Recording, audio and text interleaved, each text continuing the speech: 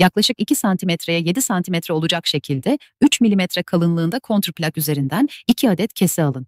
Parçalardan birisine kenara ve birbirine eşit uzaklıkta olacak şekilde 6 adet 5 milimetre çapında delik açın.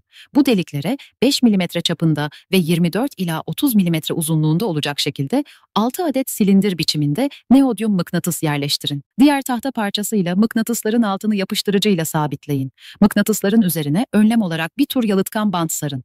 Bantın üzerine toplam direnç yaklaşık 6 kilo ohm olana kadar 0,04 milimetre kalınlığındaki bobin telini sarmaya devam edin. Çıkışı 5 milimetre dişi ses cakıyla lehimleyin. Elektrogitar manyetiği yapmak bu kadar kolay.